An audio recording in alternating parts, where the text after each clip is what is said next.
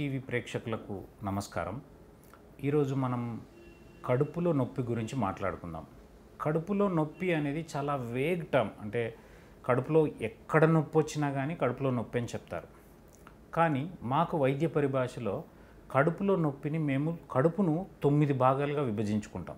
So దాన్ని బట్టి ఒక చోట నొప్పి అని చెప్పినప్పుడు అది మోస్ట్లీ ఏమై ఉండొచ్చు అంటే ప్రాబబుల్ డయాగ్నోసిస్ అంటాం. ప్రాబబ్లీ ఏ డయాగ్నోస్ కావచ్చు? అనేది ఒక నిర్ధారణకు వచ్చి దానికి సంబంధించిన పరీక్షలు చేయడమే జరుగుతుంది. అది ఎలా అంటే ఏ ప్రాంతంలో అయితే నొప్పి అని చెప్తున్నారో ఆ ప్రాంతంలో ఏమేమి అవయవాలు ఉండే అవకాశం ఉంది కడుపులో? దాన్ని బట్టి ఏ ఏ నొప్పి వచ్చే అవకాశం ఉందనే దాన్ని బట్టి కడుపు నొప్పిని మేము విభజించుకోవడం జరుగుతుంది. సో అందులో కామన్గా వచ్చేవి మనకు చాలా ఇంపార్టెంట్ అయిన కొన్ని రకాల నొప్పుల గురించి ఈరోజు మనం డిస్కస్ చేద్దాం. సో కడుపును తొమ్మిది భాగాలని చెప్పాను కదా? సో కుడిపక్క కుడిపక్క పై భాగాన ఎడమ పక్క పై భాగాన కుడిపక్క కింది భాగాన ఎడమ పక్క ప కింది భాగాన. మధ్యలో అట్ బొడ్డుకు అటు ఇటు. సో బొడ్డుకు పైన బొడ్డుకు కింద. సో ఈ రకంగా తొమ్మిది భాగాలు. బొడ్డుకు పైన కింద ఎడమ పక్క కుడిపక్క కుడిపక్క పై భాగాన ఎడమ పక్క పై భాగాన ఎడమ పక్క కింది భాగాన కుడిపక్క కింది భాగాన. సో దీన్ని బట్టి కడుపును మనము తొమ్మిది భాగాలుగా విభజించి దాన్ని బట్టి నొప్పిని కూడా మనం ఈజీగా డయాగ్నోస్ చేయడానికి ఏమై ఉంటుందని మాకు ఒక ఈజీగా అవగాహన రావడానికి మేము దాన్ని వాడుకోవడం జరుగుతుంది. సో ఫస్ట్ కుడిపక్క పై భాగాన పోదాం. కుడిపక్క పై భాగాన ఉండే అవయవాలు లివర్ కాలేయము అండ్ గాల్ బ్లాడర్ అంటాం. గాల్ బ్లాడర్ అంటే పిత్తాశయం. ఇవి కామ ఇవి కామన్గా వచ్చే ప్రాబ్లమ్స్ కుడిపక్క పై భాగాన. లివర్లో నొప్పి అనేది లివర్లో చీము గడ్డలైనప్పుడు కానీ లివర్లో ఏమైనా ఇన్ఫెక్షన్ వల్ల వచ్చిన గడ్డలైనప్పుడు అంటే అమీబియాసిస్ కానీ ఇన్ఫెక్షన్ వల్ల వచ్చిన చీము గడ్డల వల్ల కానీ కామన్గా ఆ లివర్లో వచ్చే నొప్పి రావచ్చు. అది కాకుండా చాలా కామన్గా ఈ ఈ మధ్య కాలంలో ఇంకా ఎక్కువ పెరుగుతున్న ప్రాబ్లం ఏంటంటే గాల్ బ్లాడర్లో రాళ్ళు అదే పిత్తాశయంలో రాళ్ళు. పిత్తాశయం అనేది కాలేయంలో తయారైన పైత్యాన్ని గొట్టల గొట్టాల ద్వారా కింది కిందికి చిన్న పేగులోకి చేర్చే మార్గంలో మధ్యలో కొంతసేపు పిత్తాశయంలో ఆగడం జరుగుతుంది. ఒక వన్ పాయింట్ ఫైవ్ లీటర్ ఒకటిన్నర లీటర్ల పైత్యము రోజు మన కాలేయం నుంచి ప్రొడ్యూస్ అవుతుంది. అందులో ఒక యాభై సీసీ యాభై ఎంఎల్ మాత్రమే గాల్ బ్లాడర్లో ఉంటుంది. ఈ ఆగినప్పుడు ఏంటంటే ఆ పైత్యంలో ఉన్న కంపోజిషన్ ఇందులో నాలుగు రకాల కంపోనెంట్స్ ఉంటాయి. ఆ cholesterol phospholipid bile salts and water. ఈ కాంపోని ఈ కాంపోజిషన్లో తేడా రావడం వల్ల అంటే కొలెస్ట్రాల్ ఎక్కువ కావడం phospholipid lipids and bile salts తక్కువ కావడం వల్ల రాళ్ళు ఏర్పడే గుణం అనేది ఆ గాల్ బ్లాడర్లో ఏర్ కలుగుతుంది. సో ఆ రాళ్ళు ఏర్పడ్డ తర్వాత ఏమవుతుందంటే యూజువల్గా ఆ రాళ్ళు చాలా మందిలో ఎనభై శాతం మందిలో ఎటువంటి నొప్పి కలగజేయవు. కానీ కొంతమందిలో మాత్రము ఒక ఇరవై శాతం మందిలో నొప్పి కలిగిస్తుంది. ఆ నొప్పి ఎలా ఉంటుంది అంటే ఒక రకమైన నొప్పిని సిమ్టమాటిక్ గాల్ స్టోన్ అంటారు. అంటే అది వచ్చి కొద్దిసేపు ఉండి ఒక half an hour forty five minutes ఉండి తగ్గిపోతుంది. దానంతలదే దాన్ని సిమ్టమాటిక్ గాల్ స్టోన్ అది పిసికినట్టుగా ఉంటుంది. కొంచెం కొంతమందిలో వామిటింగ్ సెన్సేషన్ కూడా అంటే వాంతికి వచ్చినట్టుగా ఉండొచ్చు.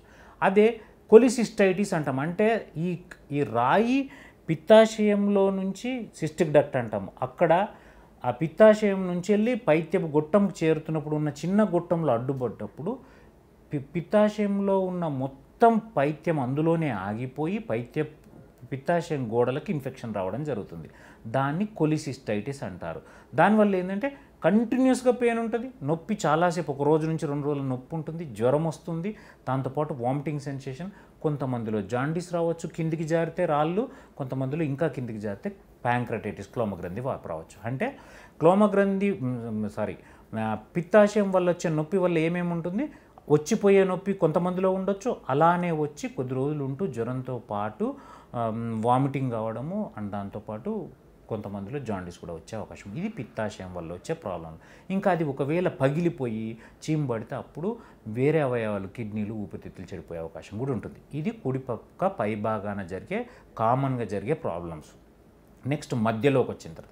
మధ్యలో బొడ్డు పైన వచ్చే నొప్పి ఏదైతే ఉంటుందో అది కామన్గా మనకు స్టమక్ ఇప్పుడు చూస్తే మధ్యలో స్టమక్ ఉంటుంది. ఆ స్టమక్ వల్ల వచ్చే ప్రాబ్లం అంటే స్టమక్లో ఇన్ఫెక్షన్స్ గ్యాస్ట్రైటిస్ కావచ్చు అల్సర్స్ కావచ్చు. కొంతమందిలో ఈ మధ్యకాలంలో ఫంక్షనల్ డిస్పెప్సియా అంటాం. అంటే డిస్పెప్సియా అంటే ఏంటి అని అంటే మనకు తిన్నది అరగనట్టు అనిపించడం బెల్చింగ్ బ్లోటింగ్ వెనక్కి అంటే మనకు తేన్పులు రావడము అరగనట్టు అనిపించడము పుల్ల ఇక్కడ మంటలాగా రావడము. ఈ కలిపి ఒక డి డిస్పెప్సియా అంటాం. ఇట్లాంటివి ఉండడము. గ్యాస్ట్రైటిస్ అయితే కంటిన్యూస్గా నొప్పి ఉంటుంది.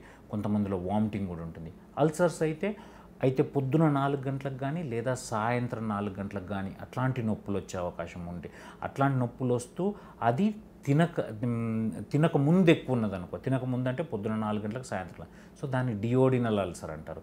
అదే గ్యాస్ట్రిక్ అల్సర్ అయితే తినంగానే తిన్న తర్వాత ఎక్కువ నొప్పి వస్తుంది. అంటే తిండితో రిలేషన్ ఉంటూ మధ్యలో వస్తూ కొన్నిసార్లు వామిటింగ్ కలిగి ఉంటే అది స్టమక్లో ఉన్న ప్రాబ్లమ్స్ వల్ల అని అని మనకు తెలుస్తుంది. నెక్స్ట్ లెఫ్ట్ సైడ్కి పోతే లెఫ్ట్ సైడ్లో నార్మల్గా పెద్ద ఇంపార్టెంట్ అవయవాలు ఏముండవు. అక్కడ ఒక్క స్ప్లీన్ అంటే ప్లీహము అంటారు. దాంట్లో ఏమైనా చీము పట్టినప్పుడు మాత్రం అప్పుడు నొప్పి రావచ్చు. సో ఆ చీమ్ పట్టినప్పుడు ప్లీహంలో నొప్పి చీమ్ పట్టినప్పుడు వచ్చే నొప్పి సేమ్ కంటిన్యూస్గా ఉంటుంది జ్వరం ఉంటుంది ఆ నొప్పి కూడా కంటిన్యూస్గా ఉంటూ దాంతోపాటు మిగతా వేరే అవయవాలు కూడా ఎఫెక్ట్ అయ్యే అవకాశం ఉంటుంది. నెక్స్ట్ బొడ్డు దగ్గర బొడ్డు దగ్గర నొప్పి గురించి మాట్లాడుకుందాం. బొడ్డు దగ్గర కొంచెం పైన నొప్పి వస్తూ వెనక్కి కూడా వచ్చినట్టు అనిపిస్తూ బాగా నాలుకెండుకపోయి బీపీ పడిపోయి ఒకవేళ పల్స్ బాగా ఎక్కువైతున్నట్టు అంటే అంటే మనిషి చాలా వీక్ అయినట్టు అనిపిస్తూ సివియర్గా నొప్పి వస్తుంటుంది. బొడ్డు కొంచెం పైన అండ్ వెనక పక్కకు పోతుంటుంది. అండ్ దాంతోపాటు మనిషి ముందు కొంగినప్పుడు ఆ నొప్పి తగ్గినట్టు అనిపిస్తుంది. అట్లాంటి నొప్పి క్లోమగ్రంథి వాపు వల్ల వస్తుంటుంది.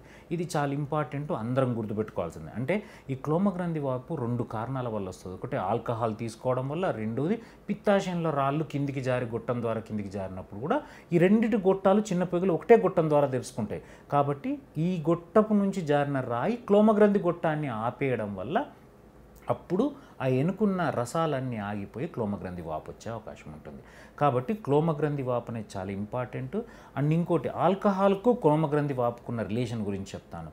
మామూలుగా కాలేయం పాడు కావాలి అంటే గింత కాలము ఇంత డోస్లో ఆల్కహాల్ తీసుకుంటేనే కాలేయం పాడవుతుంది అని ఒక లెక్క ఉంటుంది. కానీ క్లోమగ్రంథి వాపుకి ఒక్కసారి తాగినా కానీ క్లోమగ్రంథి వాపు రావచ్చు. అది అంటే వారి బాడీ తత్వాన్ని బట్టి వాళ్ళ జెనెటిక్ మేకప్ను బట్టి ఉంటుంది. సో క్లోమగ్రంథి వాపు గురించి బాగా గుర్తుపెట్టుకోవాలా? ఈ క్లోమగ్రంథి వాపు వచ్చినప్పుడు మాత్రం ఖచ్చితంగా ఇమ్మీడియట్గా డాక్టర్ దగ్గర పోతే మేము ఒక రెండు రకాల టెస్ట్లు అమైలేజ్ లైపేజ్ అని ఒక టెస్ట్ చేస్తాం. దాంతోపాటు ఒక అల్ట్రాసౌండ్ స్కాన్ చేసి చూసి ఒకవేళ అదే కన్ఫర్మ్ చేస్తే కంపల్సరీ హాస్పిటల్లో అడ్మిట్ చేయాల్సిన అవసరం ఉంటుంది. నెక్స్ట్ బొడ్డుకు ఎడ కుడిపక్క ఎడం పక్క. యూజువల్గా బొడ్డుకు కుడిపక్క ఎడం పక్క పేగులు తప్ప ఏముండదు. పేగుల్లో ఏదైనా ఇన్ఫెక్షన్ వచ్చినప్పుడు లేదా కడుపులో మొత్తంగా ఏర్పడిన ప్రాబ్లం వల్ల వచ్చే నొప్పుల వల్ల మాత్రమే నొప్పి వస్తుంది. నెక్స్ట్ కింది పక్క. కింది పక్క కుడిపక్క కింద ఎడం పక్క కింద అండ్ బొడ్డుకు కింద. సో కుడిపక్క కింద ఇది మళ్ళీ ఇంపార్టెంట్ కుడిపక్క కింది భాగాన నొప్పి వస్తూ వాంతికి వచ్చిన సెన్సేషన్ ఉంటూ కొంచెం జ్వరం వచ్చినట్టయి కొద్దిగా యూరిన్లో కొద్దిగా యూరిన్ మంటగా రావడం యూరిన్ ఎక్కువ వచ్చినట్టు అనిపించడం లేదా మోషన్ లూజ్ మోషన్ వస్తే అది అపెండిక్స్ వల్ల అని అర్థం. మగవాళ్ళల్లో అపెండిక్స్ ఒక్కటే కారణము. అదే ఆడవాళ్ళైతే కొన్నిసార్లు ఓవరీ అంటే అండాశయాల్లో వచ్చే ప్రాబ్లంల వల్ల కూడా రావచ్చు. ఈ రెండు ప్రాబ్లం వల్ల అక్కడ నొప్పి రావచ్చు. దాన్ని ఇరవై నాలుగు గంటల నొప్పి అని కూడా అంటుంటాం. సో యాక్చువల్గా అపెండిక్స్ నొప్పి అనేది బొడ్డు దగ్గర స్టార్ట్ అయ్యి మెల్లగా కుడి పక్కకు కిందికి వెళ్తుంటుంది. సో ఈ నొప్పి వచ్చినప్పుడు కూడా ఇమ్మీడియట్గా డాక్టర్ని సంప్రదించాలి. మేము ఒక అల్ట్రాసౌండ్ స్కాన్ ఒక కంప్లీట్ బ్లడ్ పిక్చర్ అనేది ఉంటుంది. దాంట్లో చూసి తెల్ల రక్త కణాలు ఎలా ఉన్నాయి చూసి ఇన్ఫెక్షన్ ఉందా లేదా కన్ఫర్మ్ చేసుకుని దాన్ని బట్టి ల్యాప్రోస్కోపీ ద్వారానే సర్జరీలు చేయడం జరుగుతుంది. నెక్స్ట్ బొడ్డు కింది భాగాన అంటే ఇమ్మీడియట్గా మన ప్యూబిక్ బోన్కి పైన ఉండేది అక్కడ యూరినరీ బ్లాడర్ ఉంటుంది. అంటే కిడ్నీల నుంచి వచ్చే మూత్రపు గొట్టాలు ఏవైతే ఉన్నాయో ఒక యూరినరీ బ్లాడర్ మూత్రాశయంలోకి తెరుచుకుంటాయి. ఆ మూత్రాశయంలో రాళ్ళు ఏర్పడ్డా ఇన్ఫెక్షన్ వచ్చినా అందులో బర్నింగ్ సెన్సేషన్ నొప్పి మంట రావడం జరుగుతుంది. సో యూజువల్గా అక్కడ ఏమైనా ప్రాబ్లం ఉంటే అది మూత్రాశయానికి సంబంధించి. ఒకవేళ లేడీస్ ఒకవేళ మహిళల్లో అయితే కొన్నిసార్లు మన గర్భాశయానికి సంబంధించిన ప్రాబ్లమ్స్ కూడా గర్భ వైట్ డిశ్చార్జ్ ఉండి లేకపోతే ఎర్రబట్ట పోతూ తెల్లబట్ట కానీ ఎర్రబట్ట కానీ పోతూ కొంతమందిలో విపరీతమైన నొప్పి రావడం జరుగుతుంది. దానికి గర్భాశయ ప్రాబ్లంలు కూడా ఉండొచ్చు. నెక్స్ట్ కుడి ఎడమ పక్క కింది భాగన. ఎడమ పక్క కింది భాగన వెరీ రేర్గా నొప్పి వస్తుంటుంది. అది ఓన్లీ పెద్ద పేగులు ఇన్ఫెక్షన్లు కానీ అల్సర్లు కానీ సిగ్మాయిడ్ కొలాన్ అంటాం. కొంతమందిలో డైవర్టిక్లైటిస్ అంటే దాంట్లో వీక్ అయిపోయి వా గోడలు వీక్ అయిపోయి బయటకు అవుట్ పోచ్ అయినప్పుడు దానికి ఇన్ఫెక్షన్ వచ్చి వచ్చే నొప్పులు డైవర్టిక్లైటిస్ అంటాం. దీనివల్ల ఎడమ పక్క కింది భాగాన్ని రావచ్చు. సో ఇంపార్టెంట్ గుర్తుపెట్టుకోవాల్సింది కుడిపక్క పైన పిత్తాశయంలో రాళ్ళ వల్ల మధ్యలో స్టమక్ ప్రాబ్లం వల్ల బొడ్డు పైన కొంచెం క్లోమగ్రంథి వాపు వల్ల కుడి పక్క కింది భాగాన అపెండిక్స్ వల్ల ఈ ఈ ప్రాబ్లమ్స్ బాగా గుర్తుపెట్టుకోవాలి.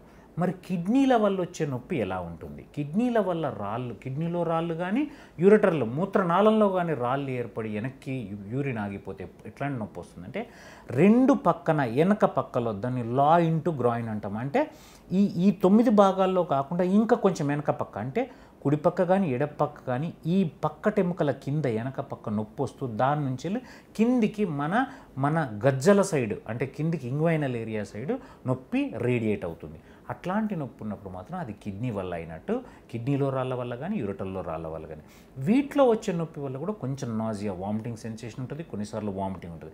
అండ్ కిడ్నీలో కానీ యూరిటల్లో వల్ల కానీ వచ్చే నొప్పి చాలా సివియర్ నొప్పి ఉంటుంది కంటిన్యూస్గా. అంటే బెడ్లో రోల్ అయ్యేంత నొప్పి ఉంటుంది. సో దాన్ని మనం ఆ రకంగా గుర్తించడం జరుగుతుంది.